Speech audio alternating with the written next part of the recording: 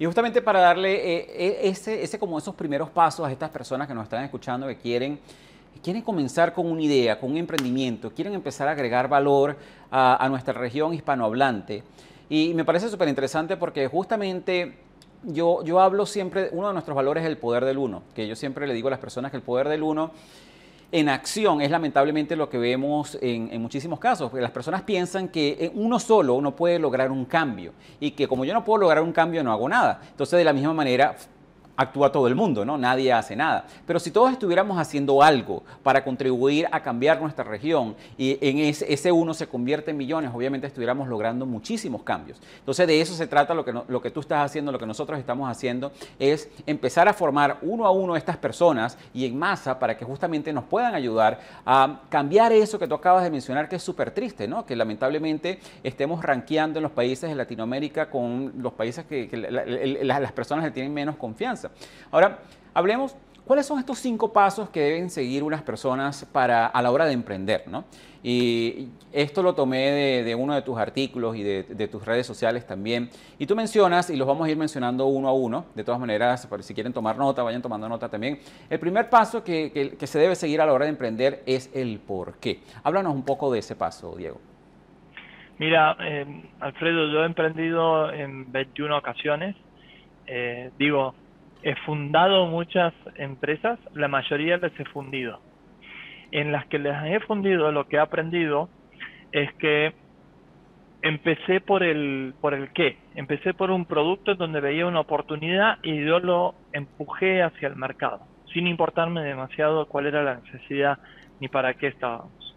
Cuando fracasé la última vez, en donde había recibido una inversión millonaria para comenzar mi producto, mi empresa, mi sueño, y era un sueño muy personal, no, no de co-creación. Este, la realidad es que ahí me di cuenta, transitando el fracaso y materializando todos los aprendizajes, de que cuando me había ido bien es cuando tenía un objetivo más allá de lo que podía conseguir esta compañía. Entonces tenía que ver con un propósito. Hoy todo el mundo lo habla, pero ese propósito es muy difícil de identificar. A mí me surgió el propósito cuando me eligieron emprendedor en Endeavor, le dije, quiero trabajar dándole valor a emprendedores. Ahora, hace 10, 11 años casi me seleccionaron y tuve esa iluminación y recién hasta el año pasado empecé a implementarla en el 100% de mi tiempo. Lo hacía tibiamente, lo hacía inconsistentemente y generalmente me daba poquito placer. Pero lo, pongo, lo voy a poner un ejemplo de por qué, el por qué es tiene que ser la piedra fundamental de nuestro proyecto. Porque cuando se define así, lo primero es que estás alineando a todos tus stakeholders a larguísimo plazo. Lo que vos quieres convertir o cambiar o mejorar es algo que está puesto a 10 años, a 15 años, quizás a 20 años. Y está asociado con un dolor que hayas tenido. En mi caso, a mí me costó muchísimo emprender al principio. Los vi a mis padres intentando emprender, intentando convencer a cientos de personas que se asocian al proyecto, a un proyecto que era realmente estaba vinculado con el tema de la prevención de salud mental en el noroeste argentino y era espectacular. Y me cansé de escuchar no, no, no, no puedo, no quiero, no se debe, no se puede, etcétera.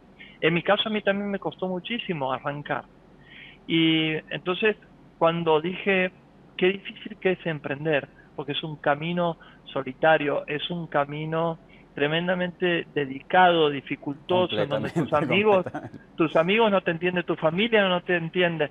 Si no te acompañan, no mm, eh, va a ser muy dificultoso. Entonces el primer punto es que pongas en común con tu gente este propósito de lo que vos quieres cambiar a larguísimo plazo. Vincula tu porqué a una necesidad muy grande para que tu sueño sea lo más grande posible. Pero aquí lo que yo invito a las personas que nos están escuchando es que esas personas a lo mejor se estarán preguntando, pero ajá, ¿cómo yo consigo esas ideas o cómo yo consigo ese porqué? Y es, y es simplemente empieza a cambiar tu visión desde el punto de vista de, cómo tú puedes agregar valor en base a, tú lo que a lo que haces día a día. Y algo que tú mencionas que es súper interesante, que es el siguiente paso, tú mencionas es, ok, nosotros ya tenemos nuestro porqué, identificamos nuestro porqué, ahora tenemos que buscar con quién. Háblanos un poco más de eso. Sí, recién hablábamos de la falta de espíritu asociativo, ¿no? de no creer en las sociedades. Y esto es un elemento fundamental. No importa qué estés haciendo tanto, pero que te diviertas, va a tener, que la pases bien, que le dediques el mayor de los tiempos y con la mayor vocación, pasión, etcétera, también va a depender muchísimo, parte del porqué, de con quién lo hagas con quién te sientes cómodo, con quién te complementas mejor, con quién compartes los valores, con quién estás totalmente alineado en términos de propósito. Así es. Sabes que con, este punto de con quién me gustaría complementarlo un poco porque es, es lo que tú dices, es hora de cambiar ese paradigma y quizás esa mentalidad que tienen muchas personas de que, bueno, lo que pasa es que el hecho de yo eh, asociarme con alguien significa que tengo que darle algún tipo de equity o algún tipo de acciones dentro de mi empresa. Y yo le digo a esa persona, so what? O sea, ¿qué, qué importa? Yo siempre le he dicho a esa persona, mira, es mejor ser dueño de 50% de algo grande que 100% de nada. Y ahí es la decisión que tú tienes que tomar en cuenta. Definitivamente el con quién este diría, para mí, el segundo punto más importante en términos de, esos de esas cinco preguntas que nos tenemos que hacer en orden de Ahora, el tercer paso que, tenemos que seguir a la hora de emprender es el qué. ¿Ok? Que háblanos un poco de ese paso del qué, porque tú decías de que uno de los errores que tú habías cometido era que tú siempre comenzabas por el qué y no por el por qué. Entonces, háblanos un poco de eso para que la gente nos pueda entender un poco más acerca de esto.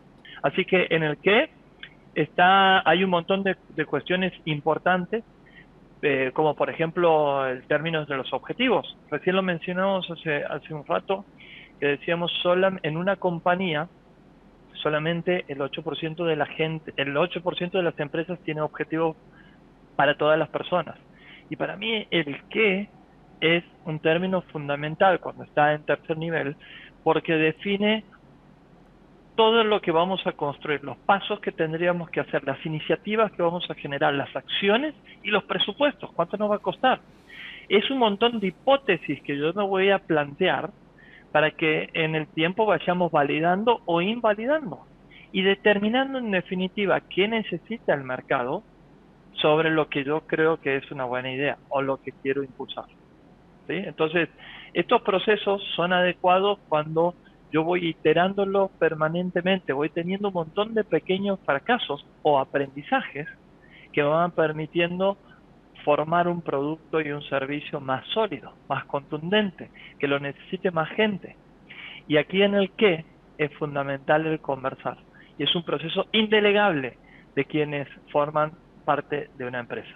Estoy hablando, por supuesto, de los fundadores, de los C-levels, pero de todas las, em, de todas las que componemos o somos parte de la empresa. Tenemos que hablar, tenemos que conversar con quienes prestamos el servicio para ver si ese producto o valor le estamos entregando es lo que verdaderamente quieren, es lo que necesitan.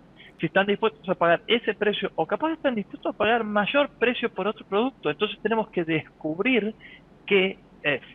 Entonces todas las respuestas del qué son procesos evolutivos que van desde lo personal a lo profesional, pero que son vitales que cada una de las personas lo hagamos consistentemente en el tiempo y que nos pongamos semana a semana cuáles son estos experimentos que nos van a ayudar a validar esas hipótesis. Y con respecto a este punto de el qué, lo que, lo que es interesante y para que las personas puedan entender un poco la diferencia, el qué sí es el producto en el cual o el servicio que tú quieras ofrecerle a tu mercado.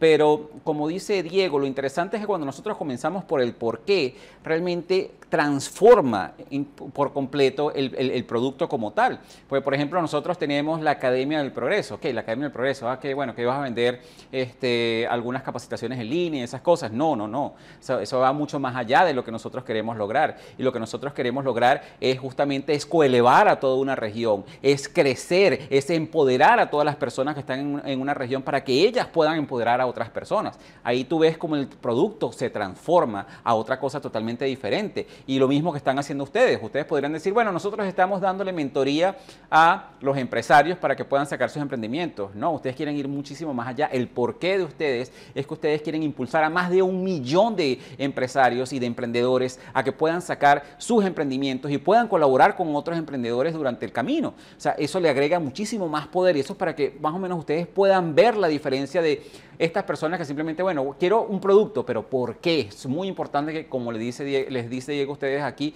entiendan el por qué ustedes lo quieren hacer, más allá de enriquecerse o llenar sus bolsillos.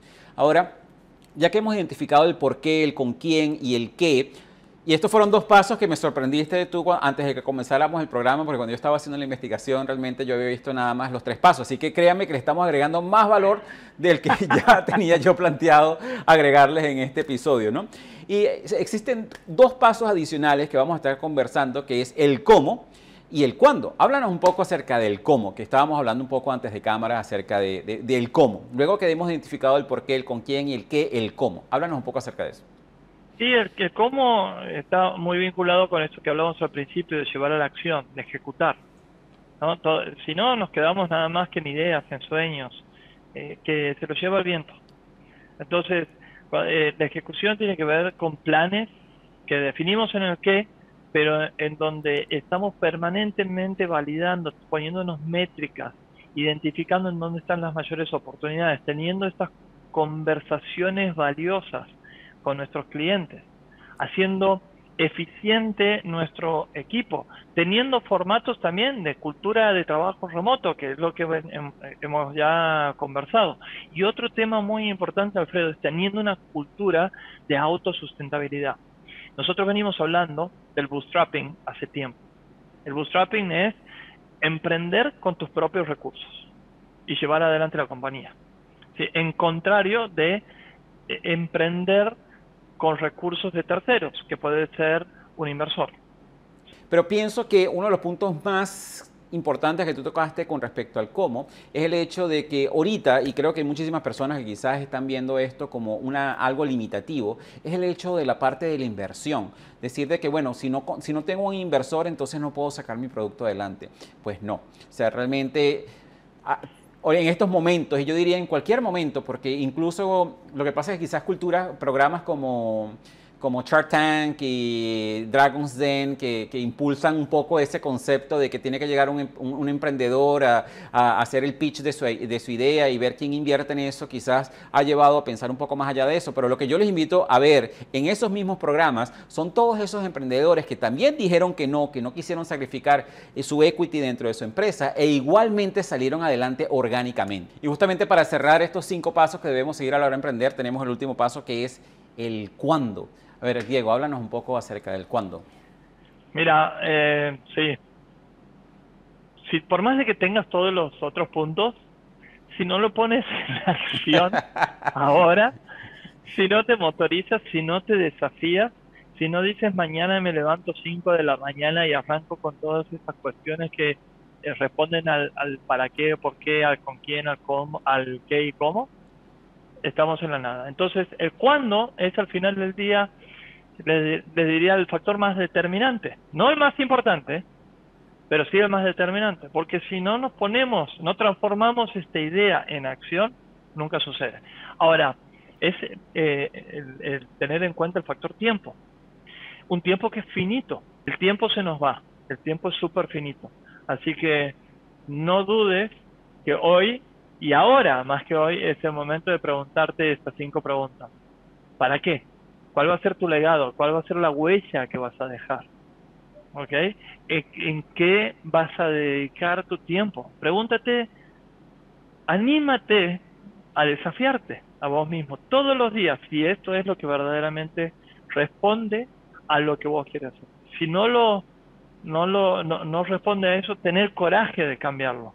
De nuevo, de cambiarlo ahora, cuanto antes porque va a venir una pandemia y te va a dejar afuera del mercado y va a ser tremendamente complejo reponerte si es que lo que estás tratando de convertir no es algo que verdaderamente está vinculado con tu propósito.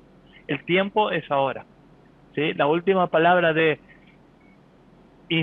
innovar con modelos que inspiren a la acción, la última palabra es la acción. Y la acción es esa, esa cuestión de creación en donde permanentemente nos tiene que ir marcando e identificando. Y finalmente, creo que se lidera con el ejemplo.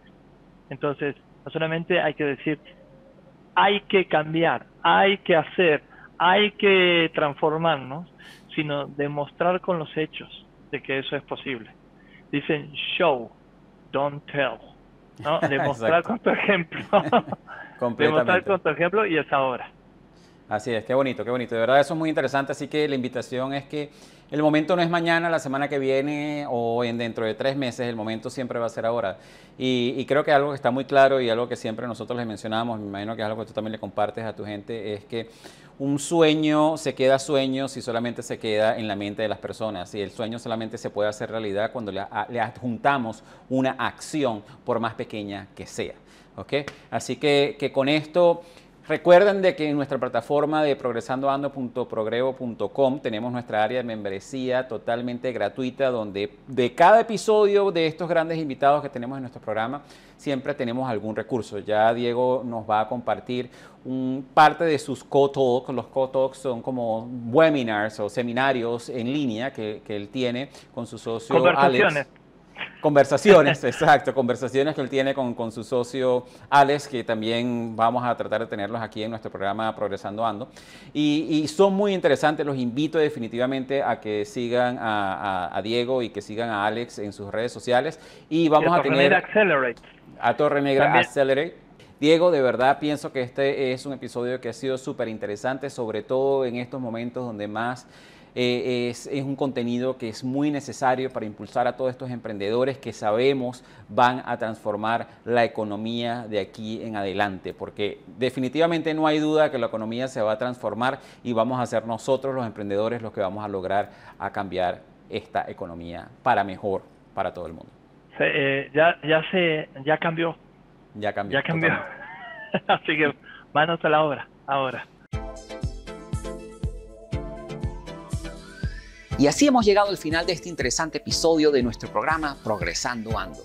Te invitamos a visitar la página web de nuestro programa en la siguiente dirección, progresandoando.progrevo.com, donde encontrarás recursos gratuitos que hemos creado para ti, para contribuir en tu crecimiento personal.